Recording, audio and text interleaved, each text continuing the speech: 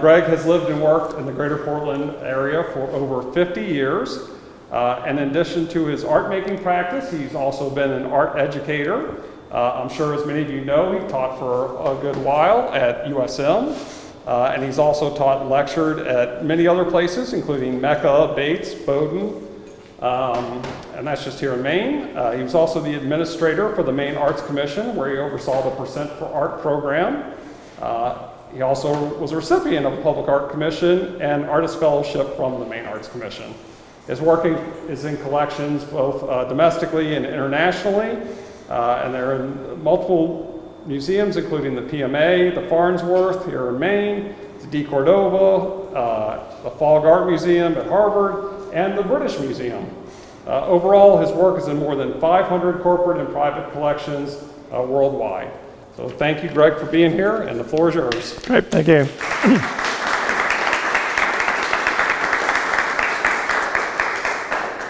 thank you for coming this evening. Um, I probably will give you a little bit of information about those, uh, those questions that you might have about process to begin with. But I like to kind of open things up to questions pretty quickly. I, I like the way that that leads into some of the subjective aspects as well. But um, this process is one that um, I've been working on for decades, and it came about uh, initially by destroying a painting. I had I was working on canvas and paper, and I decided that I wanted to remove all the paint and take it down until there was nothing there and start over again. And when I got to that point, I realized that I'd found something that was more important than I'd been looking for intentionally. And so I started looking at what was actually left, what were the traces that I found so interesting. And that started an investigation with materials that would allow me to do this um, trace evidence of paint and process that gets built on the panel.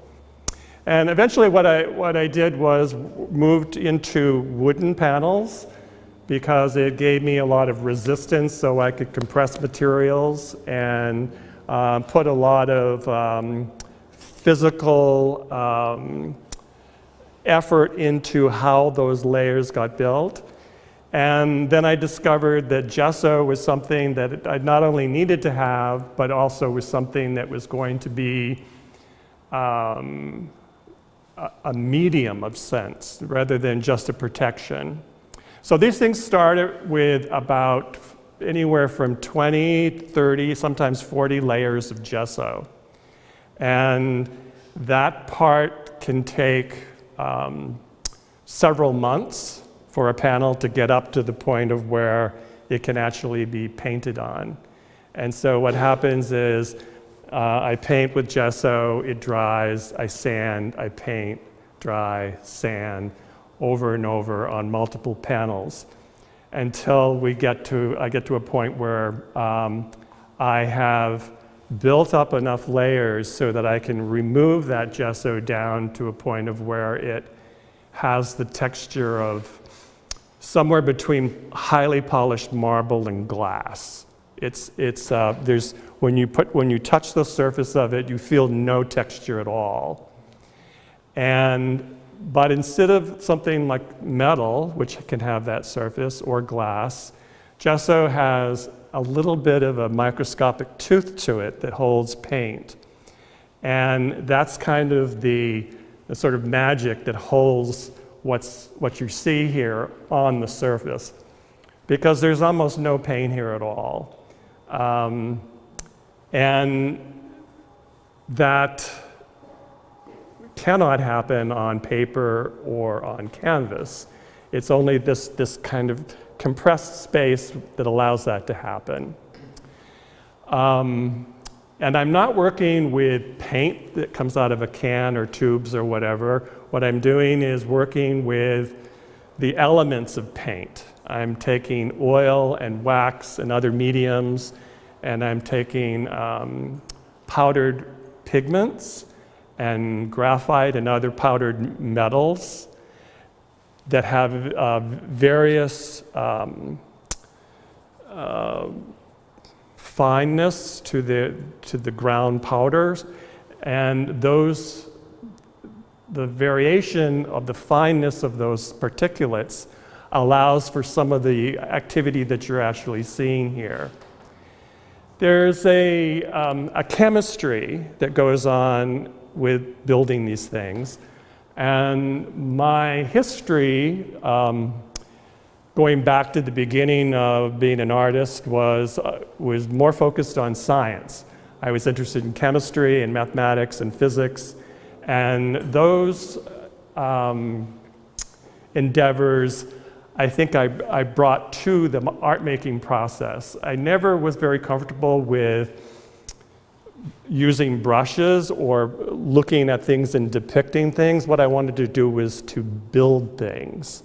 And so I think about these in a very um, architectural way or, or sculptural way, where I'm, I have this panel, I build these layers of, of white gesso, and I sand and finish and um, create this environment to add what you are seeing in the end. Um, that process of building the, building the paint um, is a very uh, a chemical and physical process so that if I push physically on something, it reacts a certain way. If I push with a chemical in a certain way, it acts slightly differently. And so as I'm working with these materials, I'm having a, a physical dialogue and a physical engagement with those materials, and then discovering what the paint becomes. I, I never have a paint that in mind that I'm going to make for a painting. The paint comes about as a, as a process that, uh, that starts with you know, the, the structure of it. The other thing that I do is that I work in with geometric systems and um, I use mathematical formulas and what I like to call strategies. If you sort of think about them as like a chessboard, you've got, it's all broken up into very rational units, and there's ways to move things around that board. And then if you think about that being a thousand layers with all these different possible strategies that are moving up, over, down, across, whatever, and then compressing that all into something that's about two microns thick. And it's so that chemical, physical ideation um, is unique for each piece. They're never um, the same. And um, it's not that I don't know where they're going, but I, I, I allow them to take me places. And then I encourage the opportunities that they provide, and then I take those. Um, so the, the, the, the, other thing that the mathematics does is um, it has a, a rationality to it and a, um, a manageability to it so that I can say, this is two inches, this is four inches, um, this has this precise amount of thickness, uh, this panel is this size, this unit is, has a certain relationship, a ratio to the panel. Um, and I can keep making these um, mathematical um, directives between the various units that I've set up. And it would be kind of like if you took you, you bought everything to build a house for and you just dumped it in a yard and said, okay, like how am I going to move these boards around and what piece am I going to put over here with no idea that you're going to actually build a house. That you're going to just align these materials or these, these um, um, objects with the intent of it actually telling you what it wants to be.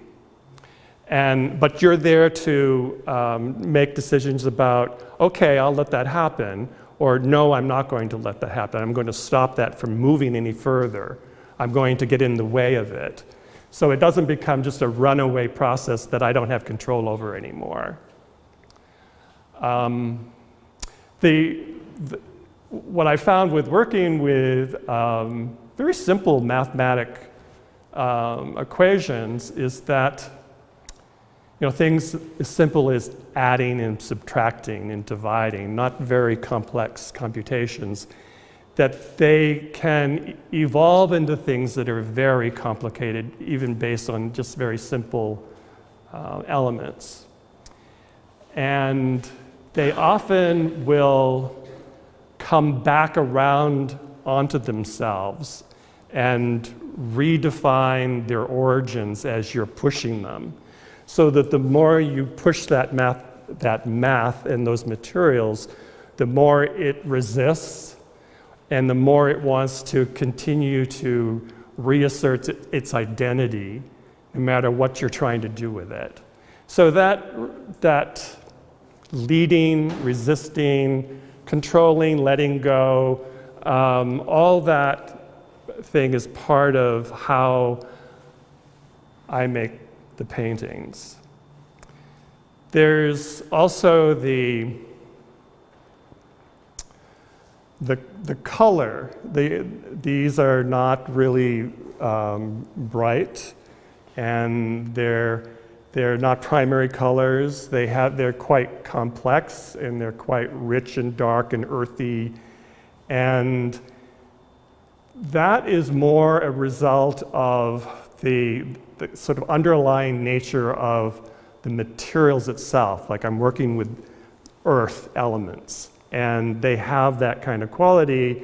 And instead of trying to take them out of that, I want to, to exalt in their richness, like to, to um, bring this piece of rust up to a shiny diamond kind of quality to it. Because it, all, that it has that in its nature. It just needs encouragement to bring it to that point.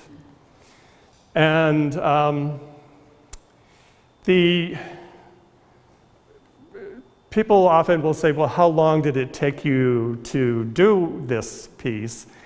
And it, for me, it's like it was long enough. It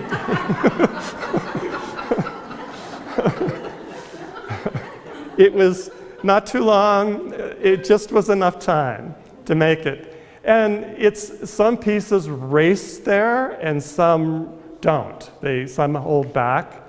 Um, there is a painting that's in my dining room right now that I um, that I have never had on the market. That about every five or six years I work on it again. And it was a piece that initially resisted a lot. It just did not want to go in any place that I wanted it to go. And I'm going, fine, you know, well, just that's fine. You can do whatever you want with this. And I just let it be that. And then I'd go back and go, no, we're going to go back here and we're going to do this again. And we're going to go even way further than we did before. And so this is my opportunity to say that um, I have a piece in my life that will always be in progress, that will never, there's never going to be time enough for that piece to be done. And one thing I've learned by that is that, um, you know, what is a finished work of art? When do you say that, that it's done? And you know, there's all kinds of rationale that you can come up with for saying that something's complete. And then at the same time, you can come up with all sorts of rationale about how nothing's ever complete. Everything is always going to be unfinished. Everything is going to always be evolving. Um, and so it's where I end with these pieces is usually uh, a place where I feel comfortable that it can tell me as much as I can tell it. And it has enough for, to stand on its feet to command my attention and maybe somebody else's. And um, it has enough of its life that it maybe is, is saying something more than I can even understand or, or, or know about. And, and when I have a sense of that, I feel, okay, I, I probably should just leave this alone for a while. Or maybe I should never go there again. And so, in some ways, they're like people. Um, they, you know, it's like you can't say, I know that person. Uh, you kind of never really completely know someone, and you never stop learning about someone. And for me, making art is like that. I'm always learning more about that piece and where that piece is going to go and what it means. Um, there's, there's a bunch of things that happens within the, the strategies that I talked about. And the way that I, um, when I'm actually working, I work flat on tables. I work on a table that is immovable. It can, if you no matter what you do, you cannot move it. It's, it's complete resistance. And I find that that works very well for what I'm doing to these things. They look, they are very fragile and they look very delicate, but I have been, when I work on them, I'm putting every bit of my physical strength into them. They're very physically demanding. And so I want that resistance. And when I'm working with the the strategies, there are so many strategies and there's so many elements to the strategies that I can't keep those in my head. So my work table becomes a drawing surface. And so my, the panels here and the entire rest of the table is, is, is sort of like shrink wrapped in paper. And I draw on the paper and then paint, and I draw on the paper and paint. And the, the drawings aren't complete because they would take as long as the paintings. And so working on separate pieces of paper doesn't work for me either because they get shuffled around or they pile up. And so what I do is like I, I draw my environment around me as I'm working on the painting. And I can refer to all those strategies at any moment. I can look here and see what happened with those 47 units that are an eighth of an inch wide and how they relate to these units over here that are in eighths. And I can't do that completely in my head, but I can do it by looking at the references that I've set out on the, on the, on the paper. And so these, these, the surface of the table becomes very dense with information. And if you saw those drawings, you could see the, um, the evolution of the painting. But if you saw any one of those strategies, it wouldn't look like anything that you're seeing here. It's those strategies complement, annihilate, cover up, encourage, meld, mingle. They, and then those, some of the strategies say firm and resist, and some dissolve. And so there is um, a, a, dimensional degradation and a dimensional um, uh, resistance to anything that I'm trying to do to it. Um, so, why do I do that? like, why all those, those numbers and why all those strategies and what happens? Why, why would I want to do that? Um, what I've discovered is that I can get, and I know people will find this hard to believe, but I can get kind of obsessive about things. and so I need something to kind of rein myself in a little bit. Otherwise, I could just go and I would never surface in this. And you know, some people might find that you know maybe a mental illness or something, but I'm channeling it into something that I think that's more useful than my demise. But um, so it's that's one thing.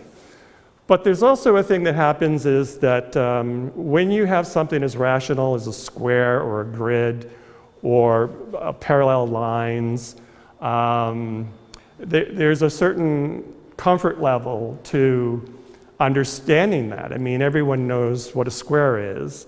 And it's like if I go if I go this distance and turn 90 degrees, this happens. That is so predictable and so comforting in the knowledge that you are um, you're in a reality that you you understand. But what I find in this is that it's very deceptive because we become complacent in that understanding and we stop looking at the contradictions that are in that uh, predictability.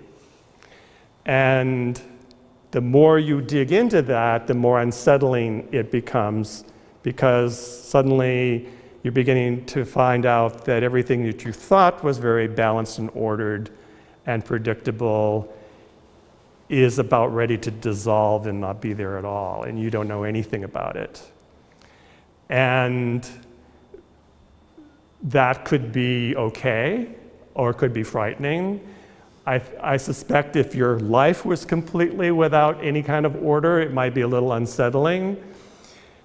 But those are things that we encounter everywhere in our lives.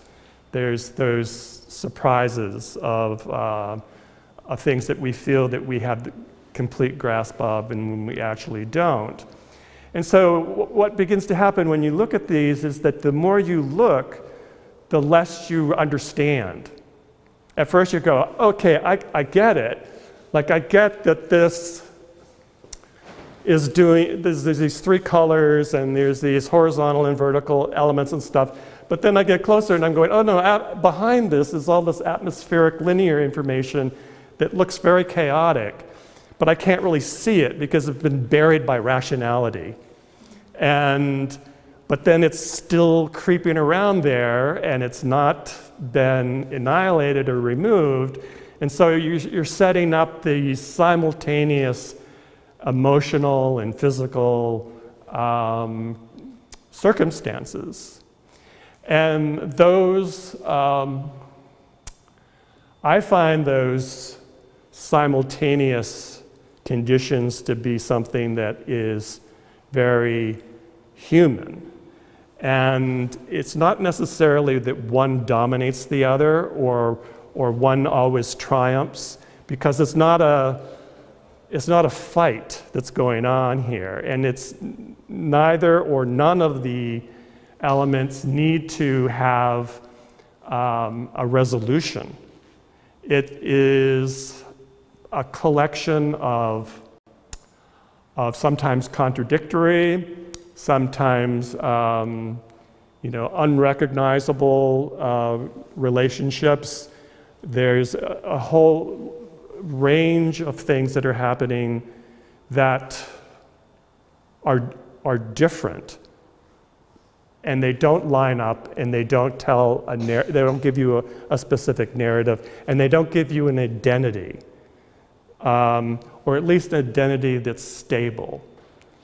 The, the identity is, is, is shifting, evolving, um, and what, it, what starts to happen, instead of trying to figure it out, it's, these are not so much puzzles that you need to figure out, like, how, like, how does this work? You know, I'm not, I'm seeing this, but it doesn't follow through on what I'm seeing. There's something here that interrupts my thought as I'm moving through that and trying to look at what seems to be very mechanical and very deliberately uh, laid out.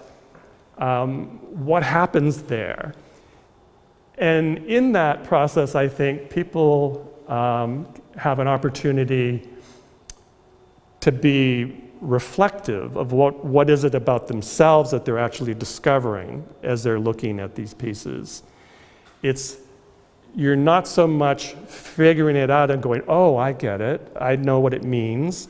Um, I know what it is. I know what its identity is, and I know how it relates to my reality. What it is is like none of those things, but somehow that feels very familiar. It feels like the less I know, the less I understand, the more confused I am, the more fearful I am, the more comfortable I am, because I know that's like that's something that's that is really who I am. Not everyone goes to the same place when they look at any work of art, and not everyone is going to go where I go with this work. But I think that um, the, the, the one thing that I'm trying to do here is to set up something that's really rational and precise and measured and concrete and mathematical, and then just say, it's not true. It just isn't true. It's way more complicated than that. And it's way more interesting than that.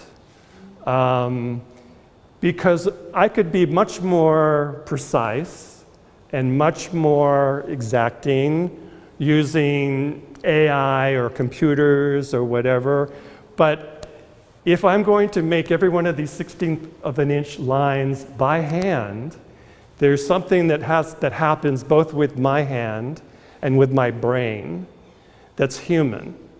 And that human element is like the, the tiny little vibration that's in there that makes it alive and not a machine.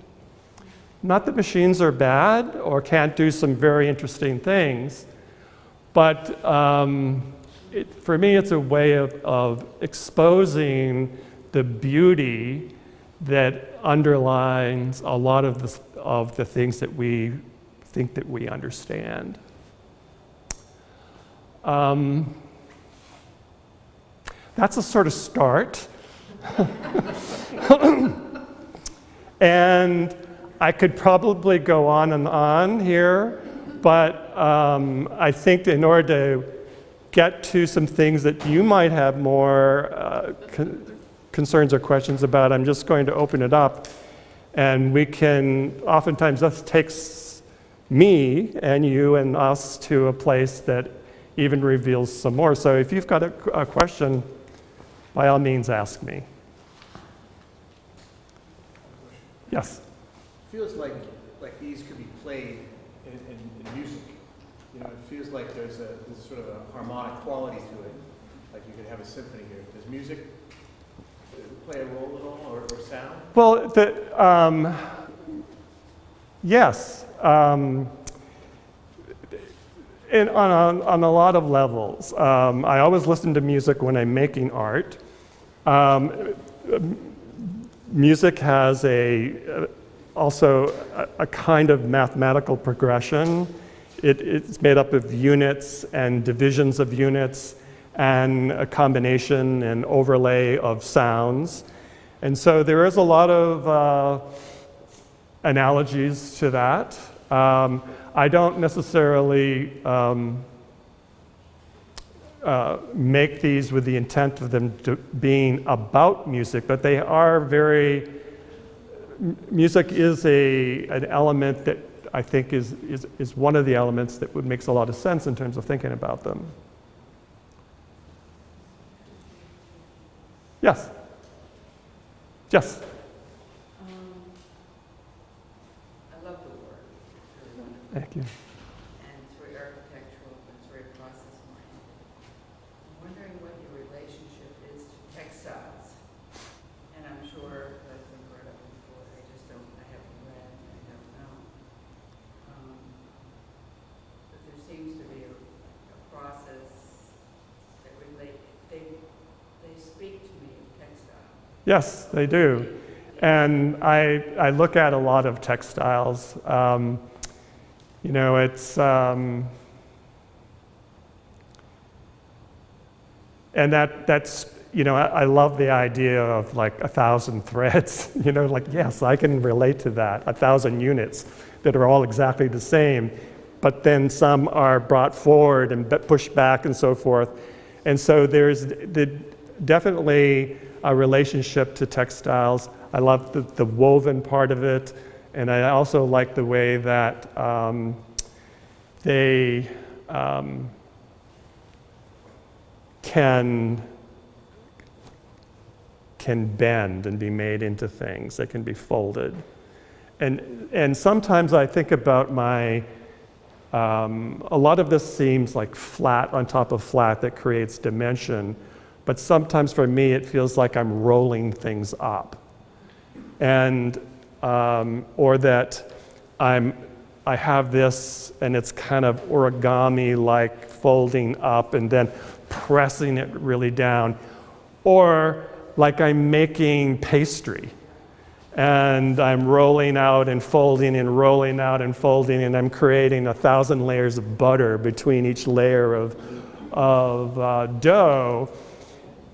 That sort of thing is here for me. Um, and so there's, there's a lot of uh, activities in, in our daily lives, like our clothes or making clothes, um, the things that the way we plant crops and the way we grow food and the, the units, like, okay, here's a seed, here's a billion seeds.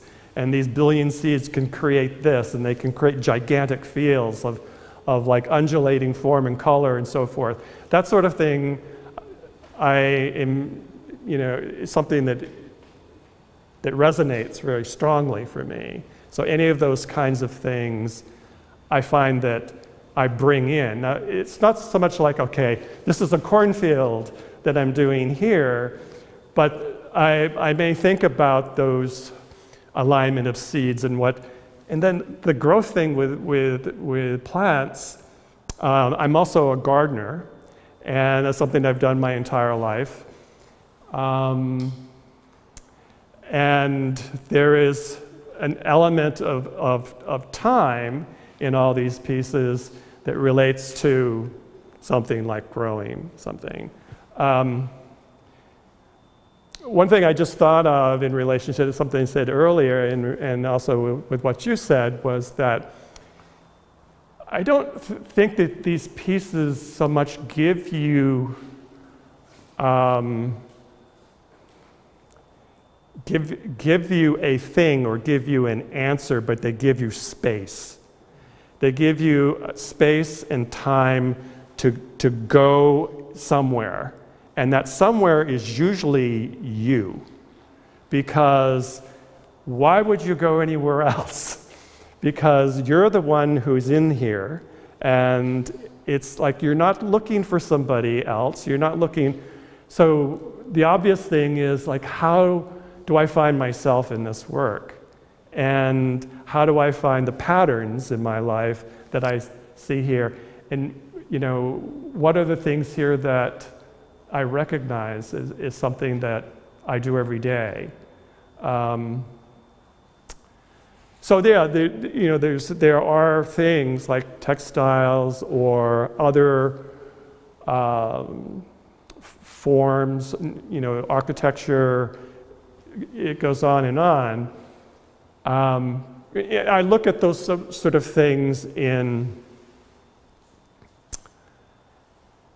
in sort of macro science and micro science and looking at how when I look to smaller and smaller and smaller units and how they, like, okay, I can make units this small, but I can only go so far because I'm human. But then, you know, there's, there's telescopes and there's microscopes, and you can keep looking for those patterns and those contradictions um, in infinite directions. And I, I, sort of see myself as an artist and my art in particular as being like a spherical entity. That I'm not so much moving through this from point A to B to C, but I'm kind of moving outward away from myself and then back into myself.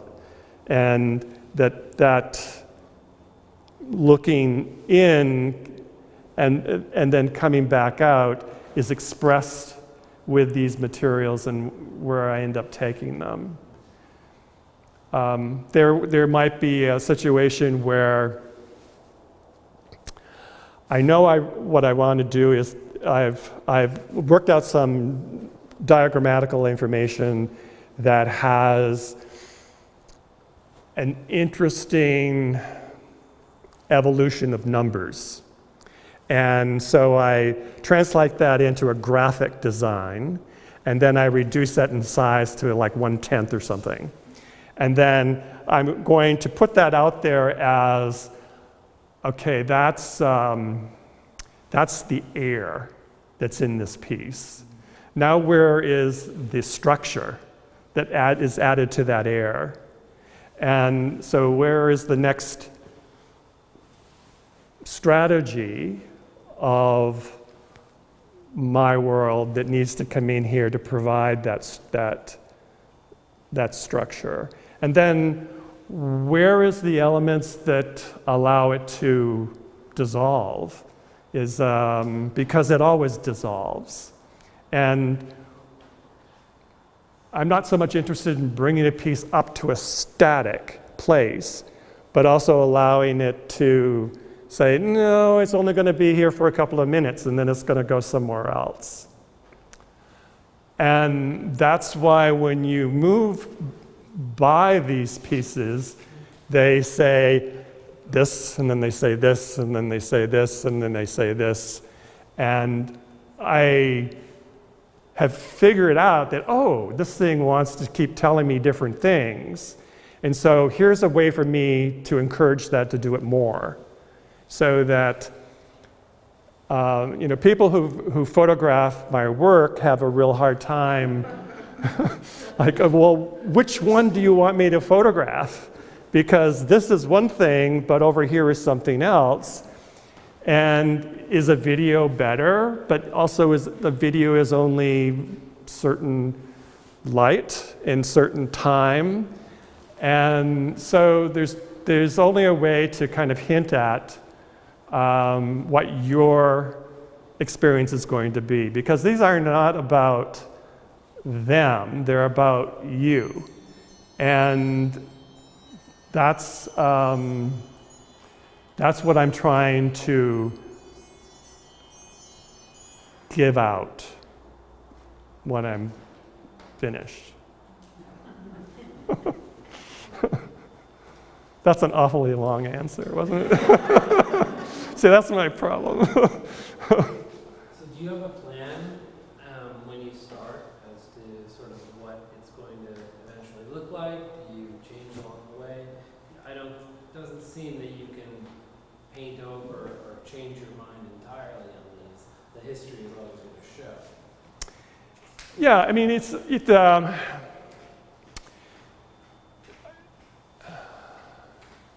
There's a, there's a, a few different things that happen. Um, I, I, always work in, in, in bodies of work, uh, and I think a lot of artists do. Uh, that, okay, here's a piece, and then, like, where do I go next?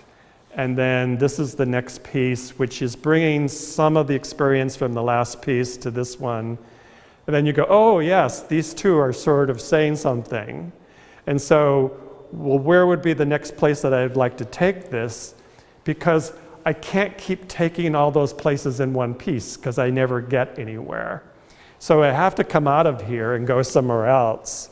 And so this, this, this body of work starts to build up. And then they gang up on me. it's, they're, they're literally surrounding me and they are saying, okay, go here next. Like, uh, this is where you should really, like, you, could, you should check this out. It looks cool over here. Um, and so when you say, do I have a plan of where to go? It's kind of like they're telling me where to go next. But then when I'm in a piece, it's like I'm completely open to um, this is where I am today, this week or whatever, and I'm going, I see its limitations, I see its possibilities. Now I'm going to impose something really different on it. And I think what this is going to do is change it in a way that will do this. And invariably, what happens, it doesn't do that. It does something else. But that something else is way more interesting than anything that I would have thought about doing. And so I'm setting up these things to help myself get to things that I don't know how to get to.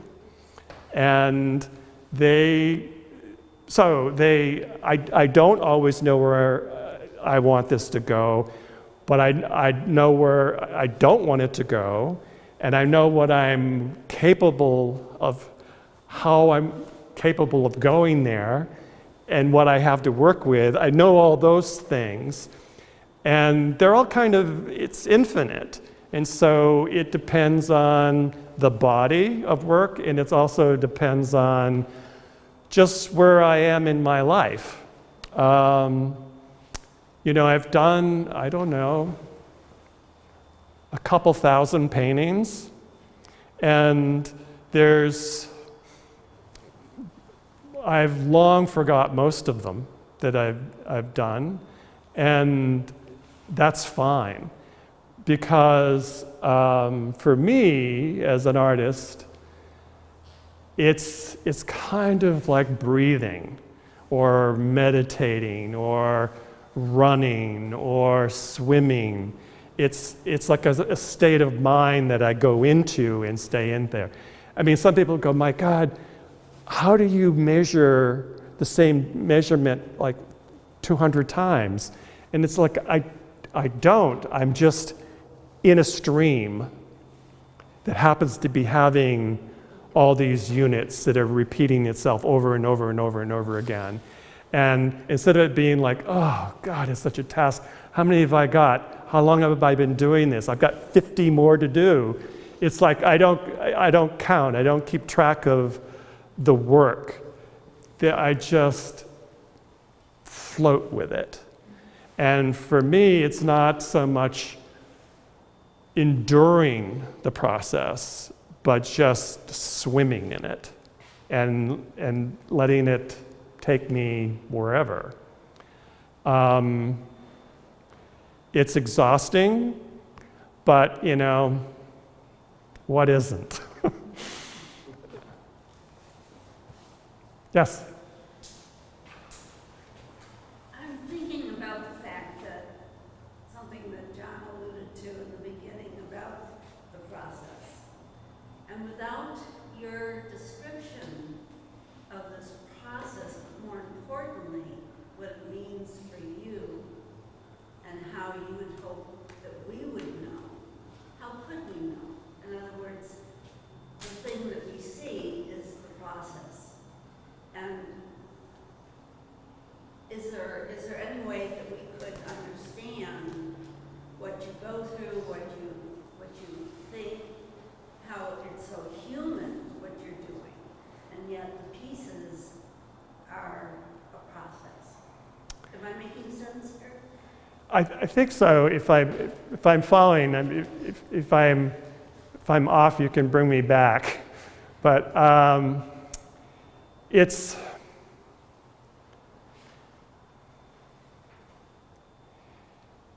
there, there's, there's two things. I, I think there, there is sort of an innate human need to understand. Um, like, what is that? Like, not just what does it mean or what do I feel, but like, just what is it? Um, and sometimes if people have seen certain work of mine, uh, some of it kind of approaches that in some of this, but um, there is times where people go, is that metal? Or is that wood? Is that stone? Like, and I'm saying, no, it's paint. And I'm going, no, that's not paint. It doesn't look anything like paint. Um, it looks like maybe oxidation or a stain or you know some kind of a it's dust that settled on something and all of that is what it actually is and also for me the fact that you can't figure it out is is a helpful thing because you don't get caught up in like beating yourself up like I can't figure it out. Like how does he do this or what are these materials what that result in this? It's like you don't have to think about it. Just give yourself over to it. And and that's very hard to do, I think. Um, some people would just say, well, you know, I'm done. I, I want to know or I'm out of here and that's fine too. But it, it, in some ways, not knowing is, is a way of knowing more. Uh, like I was saying earlier about the more you see, the less you understand, but the, the more comfortable you are in that, you feel better knowing less. And that's not so much an ignorance is bliss sort of thing it's, it's kind of like a higher intelligence. It's, uh, it's not ignorance at all. Um, it, it's, um, it's taking a, an understanding of it beyond the obvious, beyond the thing that it um, is trying to trick you into believing it is, or it's denying you the information. And neither of those things need to be resolved. They can just be space for you to think about how you fit into that space. I don't know if that, No, thank you. yeah. I spent some time looking at these and was kind of struck by how each piece has a very, very distinct and unique and complex personality. and It doesn't repeat. The only thing that holds all of this work together is the simplicity of the materials, that they share that. It's, it's like each is a complex individual human, you might say, but with a personality. Is your studio just filled with even more different personality complex paintings that you could just infinitely create these?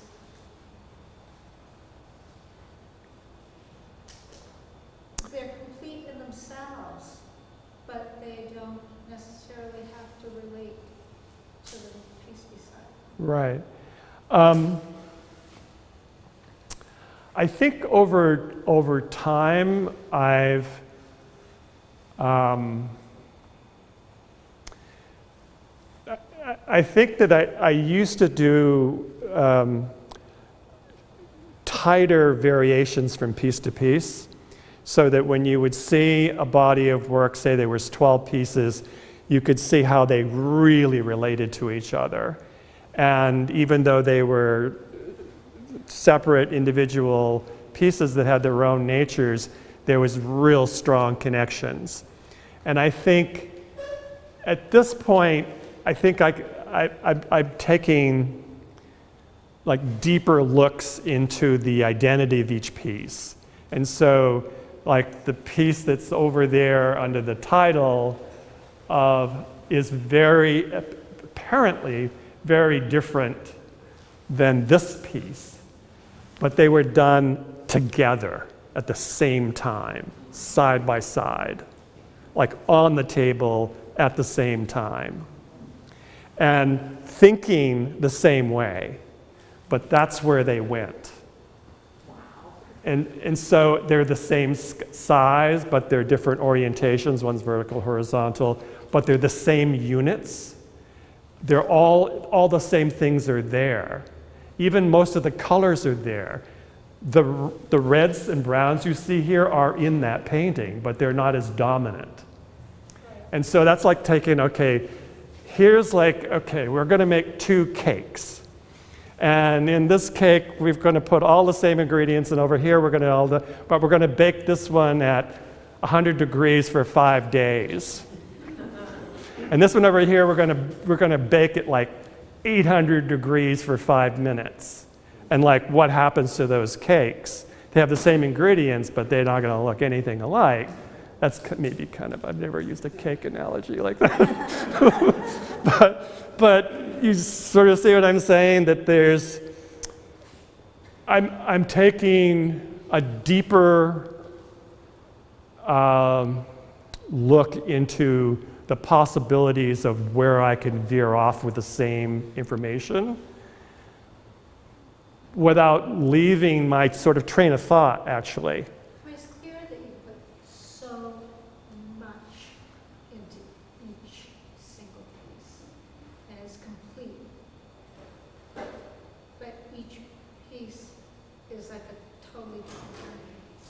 question of us. Got got a uh, simple question from an online viewer. uh, Yes. Caller uh, Diamond. Uh, And think before you answer, because this is probably what we're going to be listening to in the gallery tomorrow. Um, Did you say this was from Diamond? Yep, Okay. Diamond works here, by the way. Uh, What kind of music do you listen to. Well, uh, I listen to a lot of electronic music. Um, but that's not a finite thing. Um, there can be times when I'm more, I, my, I can drift off into things that, that are uh, mood enhancing, like kind of reparative things. But a lot of the a lot of electronic music is that that continuous information that's coming at you, and its repetitive nature, but then its depth of overlays and so forth. Um, that's for a lot of people, they find that kind of assaulting. For me, it's comforting. I also kind of like noise. Like, uh, noise can be something that um, once you get past its irritation, noise can be really wonderful. If that's possible.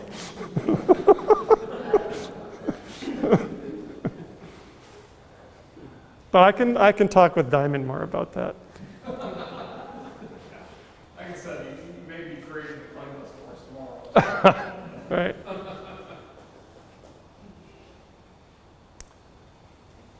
Yes. Can you talk about the shadows in this one? Why, why are they different colors? Are they reflecting? Well, yeah, it- there's, um, I, there, there's only two of these, and then the small vertical box piece does that to some extent. But if you really, I'm sure you, you've noticed that there's, because all the sides are painted, even if they're flush against the wall or if they're floating off the wall, but there's, besides the edges being painted to, to reinforce the idea of objectness, they also have a way of bending light. And it also, that when the light is being bent, it has to go somewhere. And so it bleeds up onto the walls. Like that one, it's, it's pretty dramatic because the top of that is yellow, and you see this yellow glow that's coming up from the top of it. These are different colors because there are different color panels. Um, this has, if you're here, it may look almost black, but it's actually red. And this side over here, it appears to be kind of tan, brown, or something, but it really is green. And, and then light does interesting physical phenomena, the way it bends and breaks up things, and the way that pigments absorb and reflect light. But um, that, that was, I, I, a number of years ago, I did um, a lot of shaped things to play around with, you know, pushing the shadow aspects of it. And I, I, I still like doing that, but I also like the fact that you can see these little tiny units shooting up off the top of it like teeth that are coming up up the very top of it. They're very subtle, but they're there. And that kind of just extends the dimensionality of the paint. Um, so the paint isn't just staying where it's supposed to be. It's going out into the environment, literally, onto the walls. And then when the, there's, this was, show was not about scale, but I also do really large work also. Um, you know, up to 12, 15 feet. And that work is very different because it's so immersive.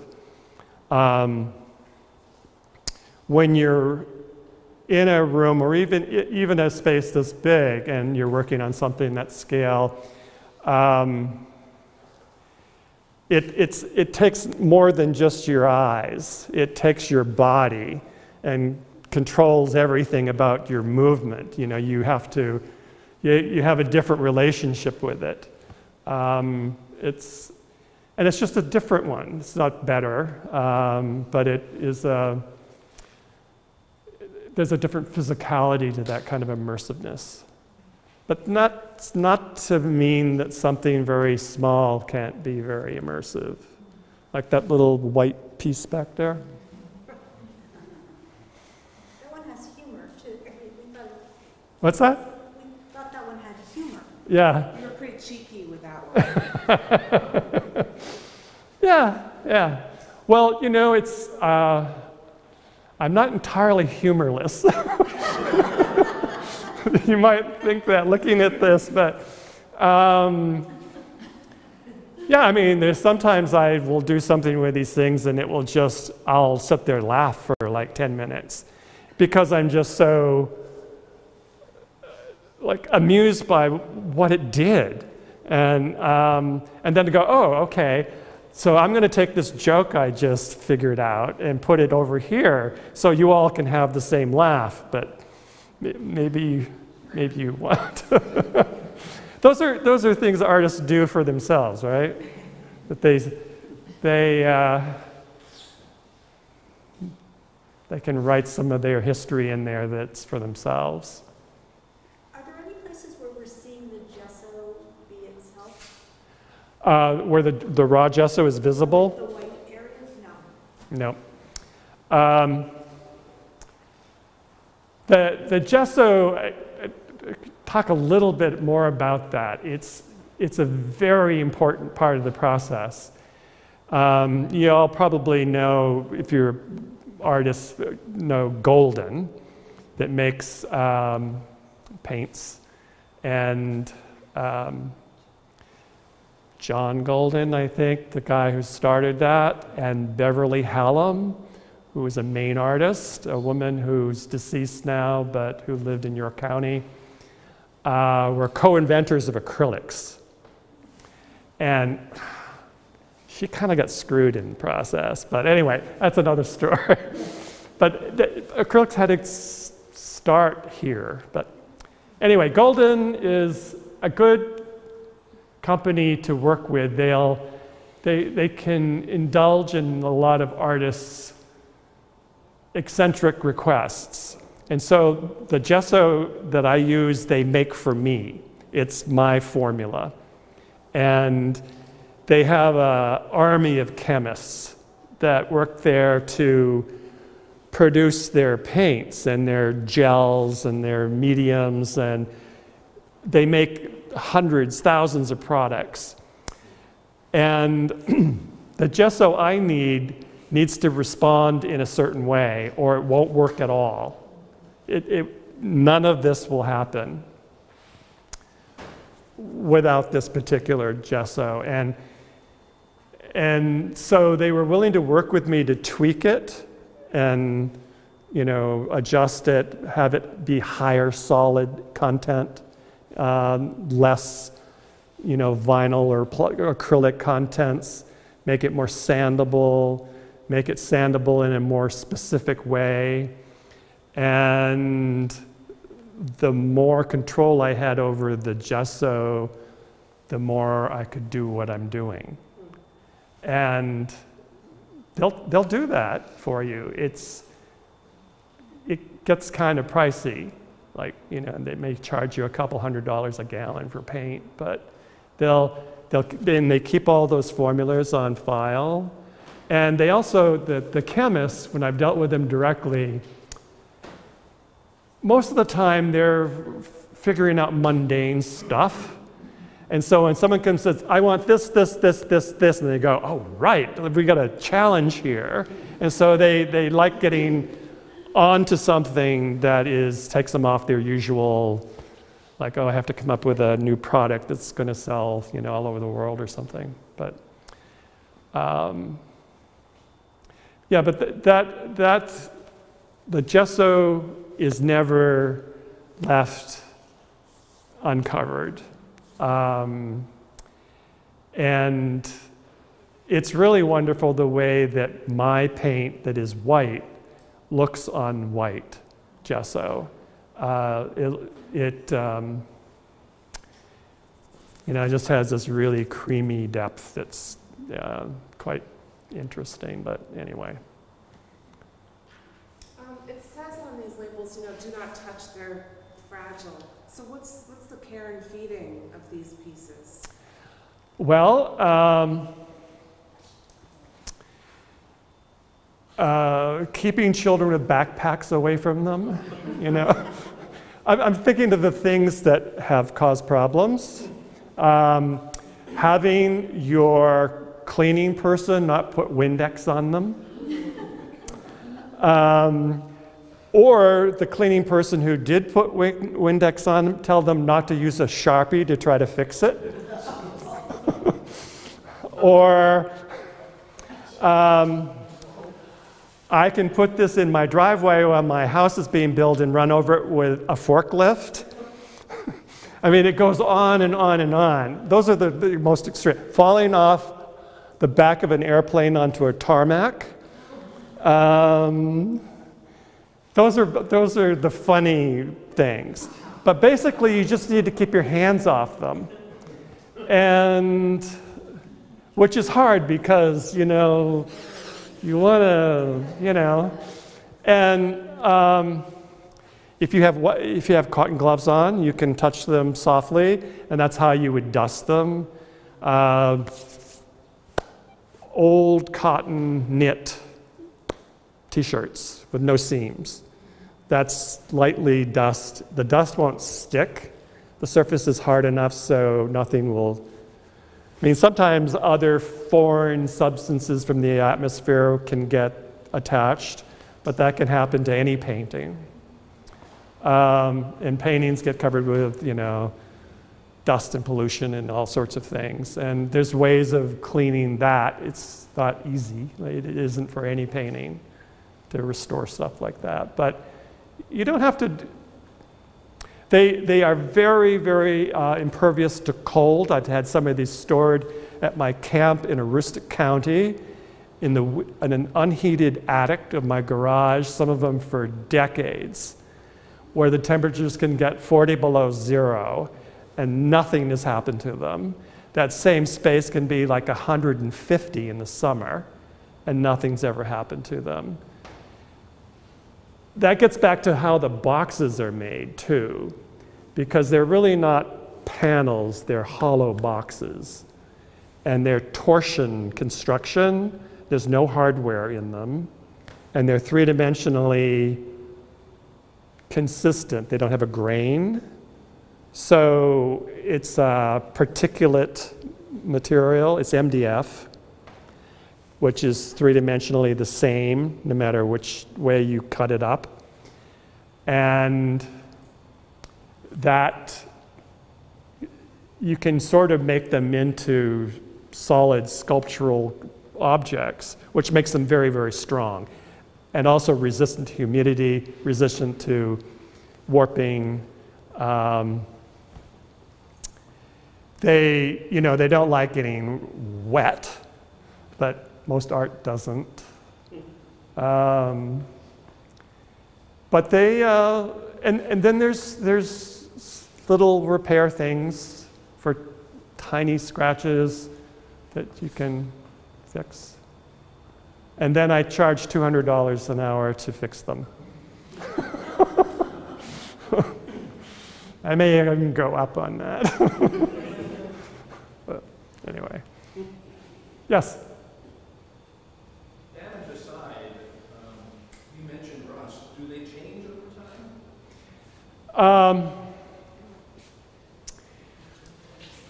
there was there was a, a, a body of work I did that worked with uh, with bronze and with um, other metals that would easily oxidize, and then I would push the oxidation, like adding acid, vinegar, whatever, to to create patinas like you would on, on sculpture.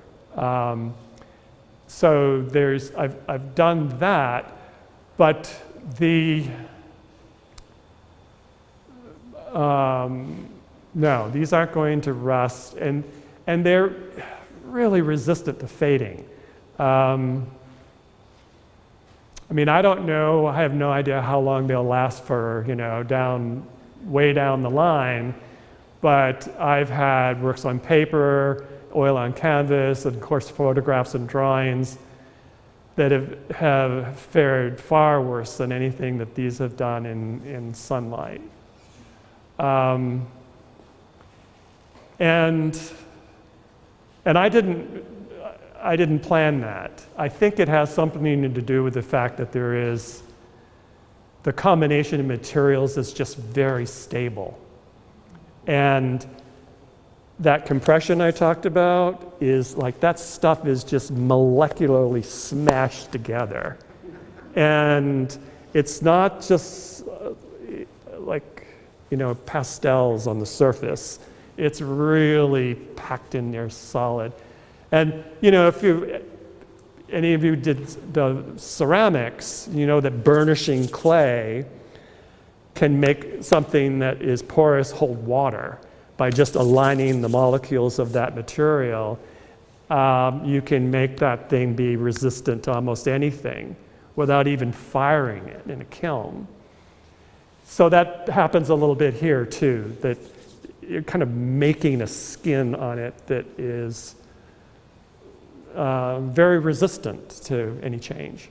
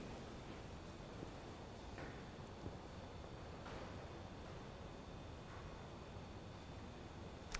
So you're glazing over enough here? Great, and with, yeah, a little past an hour, so I think, uh, unless there are further questions, thank you very much. Awesome. Thank you for coming. Enjoyed it.